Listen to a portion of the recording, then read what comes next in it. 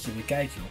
Uh, we gaan vandaag beginnen met een nieuw hoofdstuk. Hoofdstuk 5, de tijd van steden en staten. Dat is het tweede gedeelte van de middeleeuwen, om precies te zijn.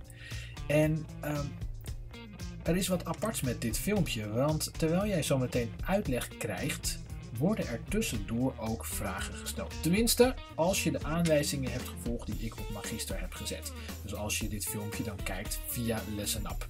Als je het goed doet, dan um, krijg ik ook melding straks dat jij de opdrachten gemaakt hebt. En dan weet ik ook dat jij de, uh, de uitleg goed hebt bekeken. Ik zie dan ook precies wat jij uh, goed hebt gedaan, wat je verkeerd hebt gedaan. En ik weet dan dus ook of jij misschien wel wat sneller door dit hoofdstuk heen kunt gaan. Of dat je juist misschien nog een extra uitleg nodig hebt. Nou, dat wijst zich straks zelf verder allemaal uit als je klaar bent met dit filmpje, kijk dan ook nog even verder op Google Classroom, want ik heb daar nog wat meer uitleg staan. Daar staat onder andere ook de eindopdracht die je voor dit hoofdstuk moet gaan halen. Daar staat ook straks de diagnostische toets, maar er staan ook allerlei filmpjes van het klokhuis bijvoorbeeld die over dit onderwerp gaan, maar die dan nog net even wat dieper op de informatie ingaan. Succes met het filmpje. Dag!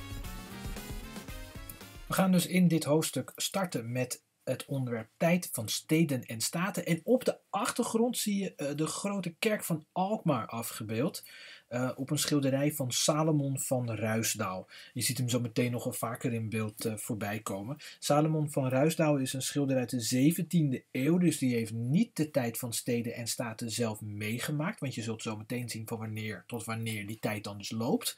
Uh, maar hij heeft het wel geschilderd zoals Alkmaar er in die tijd uitgezien heeft.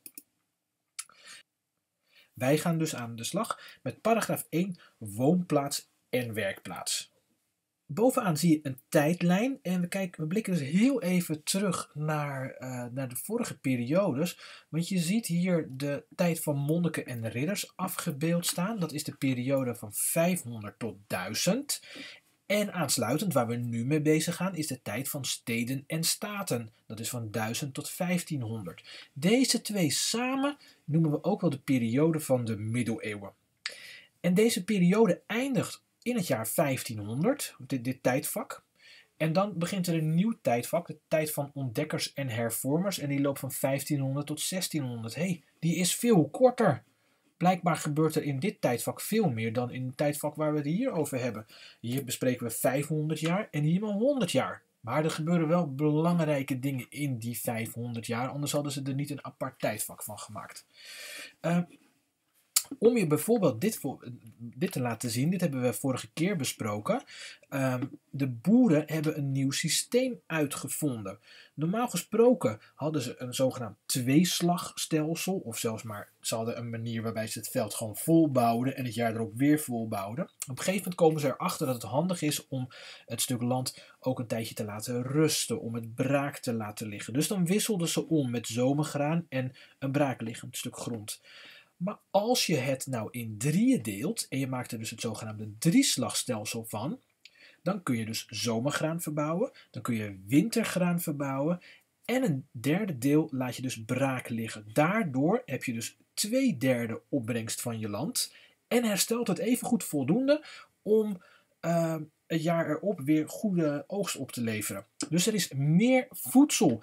En wat een hele belangrijke eigenschap is van meer voedsel, in die tijd is gewoon dat er meer mensen in leven blijven. In die tijd gaan er gewoon ontzettend veel mensen dood vanwege een tekort aan voedsel.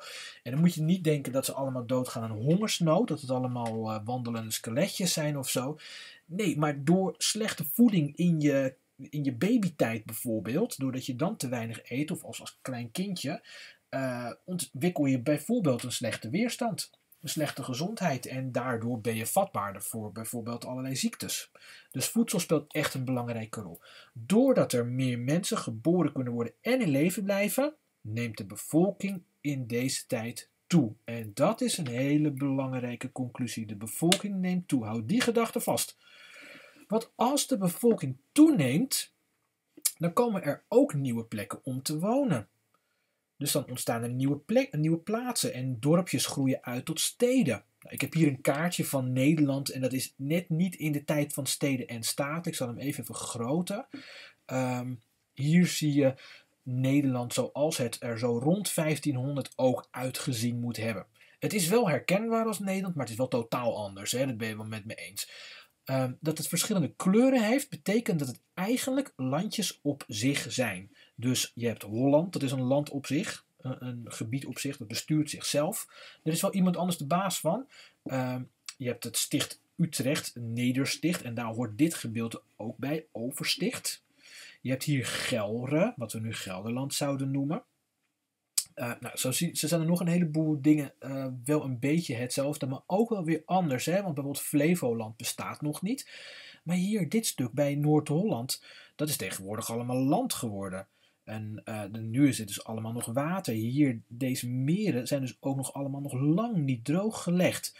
Dus Nederland ziet er eigenlijk echt wel heel anders uit in die tijd. Als jij nu een tijdmachine zou hebben en je zou lekker naar de tijd van steden en staten gaan, dan zou je ook niemand kunnen verstaan. Ze praten daar wel Nederlands, maar op zo'n totaal andere manier. De taal is zo erg veranderd in de afgelopen 500 jaar dat je het niet zou kunnen volgen. Even terug naar de uitleg van net. Uh, want in Nederland komen er dus ook veel nieuwe steden bij op handige plaatsen. Ik doe hem nog even terug hoor, want uh, dit is nog wel even belangrijk. Een stad als Amsterdam bijvoorbeeld. Uh, dat lag precies op een plek waarbij schepen richting Haarlem konden varen. En dan hier zo vervolgens via allerlei watertjes naar, naar, naar Haarlem konden. Of zelfs doorvaren via de Zaan richting Alkmaar. Uh, dus als je nou hier de boel blokkeert, dan kun je tol vragen. Dus dat is een handige plek om een bedrijfje te beginnen. Want als je tol moet vragen, dan moeten de boten even aanmeren, dan moeten ze dingen gaan regelen. Nou, dan ga je ook eventjes eten in het plaatsje. Dan blijf je er misschien ook wel overnachten. Ga je er misschien ook wel handelen. En zo ontstaat er hier dan al heel snel een stadje. Dat geldt ook voor al die andere plekken. Het zijn allemaal plekken die handig zijn. Kijk, hier bijvoorbeeld Zutphen, dat ligt gewoon op een kruispunt van twee rivieren. Super handig. Want er komen er van verschillende kanten boten langs. Als jij die boten tegenhoudt en ze moeten bij jou tol betalen, dan is dat een hele handige plek om ook te gaan handelen. Nou, zo hebben al die plaatsen die je hier ziet liggen in de tijd van steden en staten, hebben een handige ligging en daardoor worden het echt steden. Je ziet gelukkig Alkmaar ook al afgebeeld op deze kaart. Alkmaar bestaat dan al. Het stelt nog niet zoveel voor hoor, want je moet je wel voorstellen dat al deze plaatsjes die hier afgebeeld zijn, dat zijn eigenlijk al steden op het moment dat er, nou laten we zeggen, 500 mensen wonen. Nou, 500 mensen, dat wonen tegenwoordig al heel snel bij mensen in hun straat wonen vaak al 500 mensen. Dus uh, dat stelt echt niets voor. Je moet je dus echt voorstellen, een stad is echt zo groot als tegenwoordig een woonwijkje. Nou, wat zijn dan handige plekken om een stad te beginnen? Nou, langs kruisingen van landwegen. Bij een plek waar je de rivier kunt oversteken of bij een dam. En weet je wat ik nou heel erg leuk vind? Dat vind ik persoonlijk heel erg leuk. Tegenwoordig kun je aan de naam van een plaats soms nog herkennen hoe het ontstaan is. Dat noem je een toponiem. Nou, dat mag je gelijk weer vergeten. Maar het grappige vind ik dat je dus aan plaatsnamen kunt zien wat voor functie het ooit gehad heeft. Bijvoorbeeld uh, Voort, gaan we zo meteen zien. Uh, bijvoorbeeld bij het plaatsje Zandvoort. Dat is een plaats waar je de rivier kunt oversteken of waar je het water door kunt komen, waar je aan wal kunt komen. Zandvoort was dus blijkbaar een plek waarbij je makkelijker vanaf de Noordzee aan land kon, kon komen. Drecht, van bijvoorbeeld Dordrecht, is ook zo'n plek waar je doorheen kunt, waar je de rivier kunt oversteken of het water kunt oversteken. Een dam van Amsterdam of Monnikendam of Volendam is een plek waar de vaarroute versperd is en je dus even uit moet stappen. Een waard, zoals de Huiswaard, maar ook Herugowaard, is een, een droog vlak gebied, vaak langs een rivier. Nou, Herugowaard is dus helemaal droog gelegd. Um, Huiswaard trouwens ook, maar er zijn veel plekken die dus ook deze naam hebben, omdat ze dus ooit langs een rivier hebben gelegen. Dan gaan we even kijken of we uh, daar nog wat plaatsnamen van kunnen vinden. Nou, hier zie je Dordrecht dan bijvoorbeeld, zoals ik al had genoemd. Sertogenbos. Nou, bos betekent gewoon dat het in de buurt van een bos is aangelegd. Uh, Amsterdam, Edam. Uh, nou, kom vast nog wel later nog op andere. Uh, maar het is wel duidelijk, denk ik. Hè? Het zijn dus echt plekken die handig zijn voor de handel. Nou, kijk nog even naar het volgende schema. Als er meer voedsel is, ik heb hier echt een prachtig schema gemaakt. Deze moet je eigenlijk gewoon uit je hoofd leren, want de grote kans als ik zo'n mooi schema zelf maak, dat het ook op het proefwerk komt en dat jij dan zelf dingen moet gaan invullen. Uh, als er meer voedsel komt, dan groeit dus de bevolking. Maar er is nog een ander voordeel, want als één boer heel veel produceert, dan hoeven andere mensen niet op het land te werken. Nou, om je een voorbeeld te geven. Uh, mijn vader die heeft vroeger op het, op het land gewerkt. Die weet ongetwijfeld heel goed hoe die groenten moet laten groeien. En die zal echt wel een goede boer zijn. Maar ik, ik heb daar echt een verschrikkelijke hekel aan, joh. Uh, dus ik kan dat helemaal niet. Ik kan andere dingen misschien wel beter. Dus als mijn vader nou heel veel opbrengst heeft, dan hoef ik niet meer boer te worden, want er is al genoeg voedsel. Eén boer kan misschien wel voor eh, 20 mensen aan voedsel produceren. Dus dat betekent dat die andere mensen zich kunnen gaan specialiseren in ander werk. Zij kunnen een ander beroep gaan doen. En daardoor ontstaat er ambacht en nijverheid. Ambacht dat en nijverheid zijn dingen maken met de hand. Denk bijvoorbeeld aan de ambachtelijke bakker. Die maakt het brood nog bijna volledig met de hand. Um, dus een beroep wat, wat nog een ambacht genoemd wordt, dan, dan zijn mensen echt nog met de hand bezig dingen te repareren of te maken. En uh, nou kijk maar even van de andere kant. Doordat de bevolking groeit, komt er dus verstedelijking. Dat hadden we net gezien. Hè? Dus er komen meer steden. Dat noem je verstedelijking. En doordat er meer steden komen, komt er meer contact tussen die verschillende steden. En komt er dus meer handel en komen er meer markten. En het mooie is, doordat er meer ambacht en nijverheid is, kan er ook steeds meer op die markten verhandeld worden. Want jouw stad is bijvoorbeeld heel goed in het maken van kaas. Dan kan jij dus jouw producten naar die markt brengen. Uh, en dan kun je dat verruilen met de producten die uit een andere stad komen. Um, en hier zie je bijvoorbeeld op, op de afbeelding zie je de markt in, uh, in Den Bosch. Het stelt nog niet zo heel veel voor. Hè? Het is niet uh, een enorme jaarmarkt zoals we het tegenwoordig kennen. Nee, ik denk dat als je ze gaat tellen, nou, dan kom je misschien tot een stuk of twintig kraampjes of zo. Uh, maar voor die tijd is dit echt al een hele belangrijke markt. Er wordt heel veel geld verdiend. Er wordt heel veel contact uitgewisseld met mensen. Um, en door de toegenomen handel, dit is een belangrijke conclusie ook, een belangrijk gevolg, door de toegenomen handel ontstaat er steeds meer behoefte aan muntgeld, aan geld. Papiergeld bestaat nog niet. Papiergeld is niks waard. Papiergeld is rommel. Uh, maar munten, die zijn bijna niet na te maken. Dus dat is wel veel waard. En als er behoefte is aan muntgeld, heb je ook behoefte aan geldwisselaars. Want het lastige was wel, elke plaats had zo'n beetje zijn eigen munt. Dus dat was niet heel handig. En de ene munt was zwaarder dan de andere munt. Uh, de ene munt was weer gemaakt van een ander metaal dan de andere munt. Dus een geldwisselaar is wel heel erg handig. Dan kun jij met jouw munten uit Alkmaar kun je dan ook bijvoorbeeld in Haarlem betalen. Doordat je ze ruilt. En sommige van die geldwisselaars die kunnen jou dus ook een beetje geld voorschieten. Die zeggen: Oké, jij uh, mag van mij wat extra munten krijgen, maar dan krijg ik volgende maand wel daar rente over. Dus dat worden dan eigenlijk al een beetje de banken, de bankiers van, die we tegenwoordig ook kennen. Dat ontstaat dan dus ook al. In Italië, daar ontstaan de eerste echte banken. Dat zijn dan enorme bedrijven eigenlijk uh, voor die tijd. Uh, waar echt nou, miljoenen of misschien nog wel meer doorheen gingen. Koningen konden hun geld lenen bij zo'n Italiaanse bank. Dus mm, dan kun je wel nagaan hoeveel geld daar doorheen ging.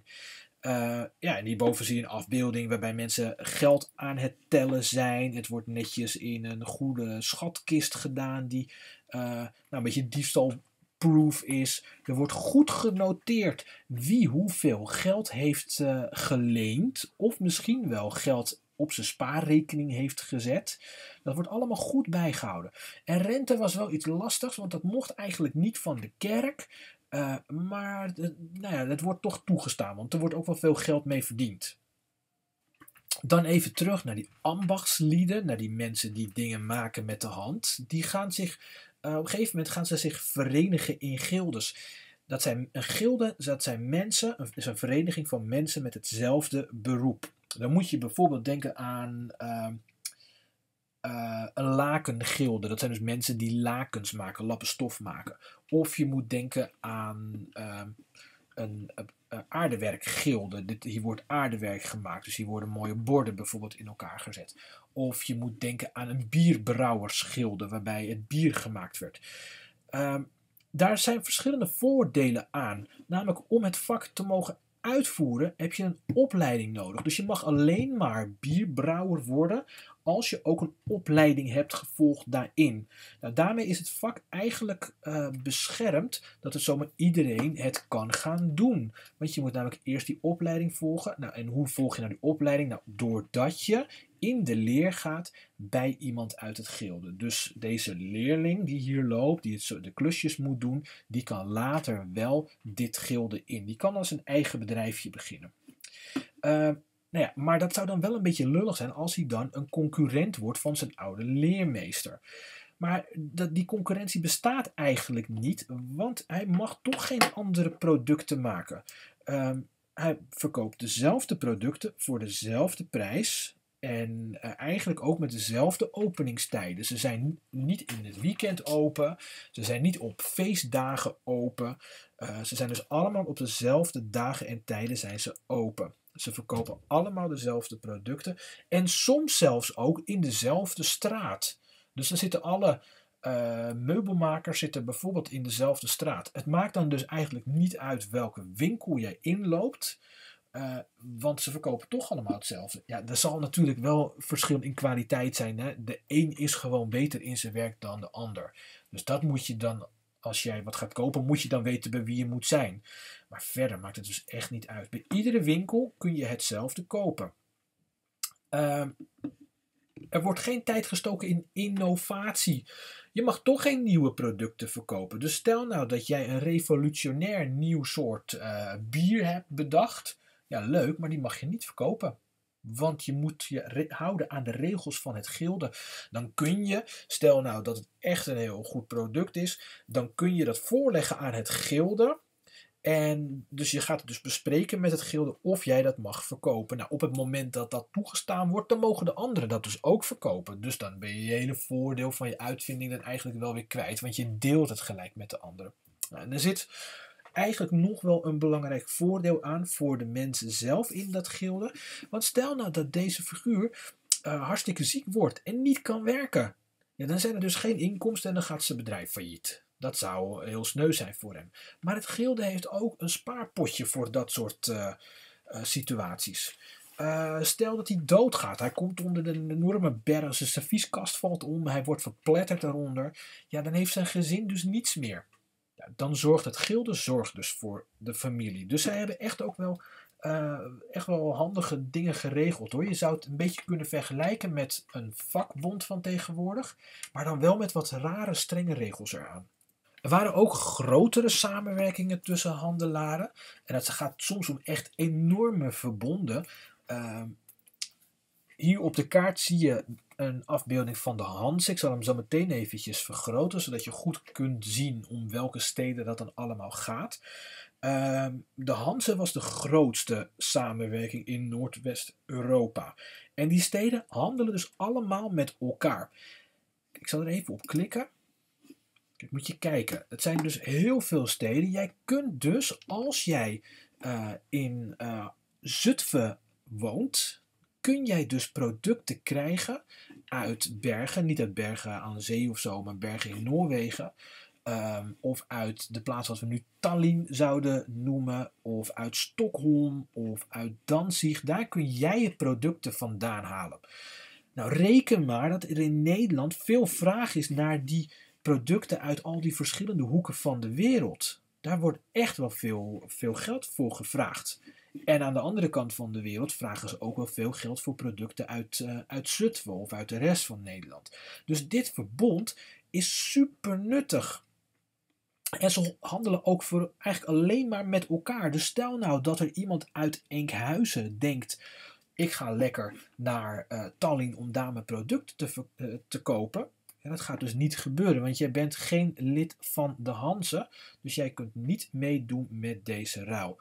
Uh, je kunt hier zo meteen nog uh, het een en ander over kijken in een klokhuisfilmpje wat klaar staat. Even weer terug naar deze dia. Uh, want die Hansesteden die verhandelen dus bijzondere producten al, ja, eigenlijk alleen maar met elkaar. En daardoor worden die steden dus alleen maar rijker en machtiger. Want als jij dus een product wil hebben uit, uh, uit uh, Polen, dan moet je dus speciaal daarvoor naar Zutphen gaan. Want dat is dan misschien wel de enige plek in Nederland met een paar andere Hanse steden waar je dat dan kunt kopen. Um, nou ja, en soms kwamen op deze manier zelfs producten uit Azië naar Europa. Dat ging dan vaak wel via een andere route. Dat ging dan via de zogenaamde zijderoute. Maar daar moet je eigenlijk een beetje hetzelfde netwerk bij voorstellen. Dus vanuit China werd dan uh, een product vervoerd. Dus bijvoorbeeld uh, zijde. En uh, dat werd dan langs allerlei steden verhandeld, totdat er ook een klein beetje zijde uiteindelijk in Zuid-Europa aankwam. In Venetië bijvoorbeeld, wat ook een gro de grootste handelsstad van Europa op dat moment was. Dus dat is ook een belangrijke manier om aan producten te komen. Zo, dit was de uitleg van paragraaf 1. Ik hoop dat je het een beetje hebt kunnen volgen en dat je de vragen ook een beetje goed hebt kunnen beantwoorden. Uh, de volgende opname die je kunt gaan bekijken gaat over verrassend, paragraaf 2. Maar uh, dat uh, zie je vanzelf opschijnen. Dag!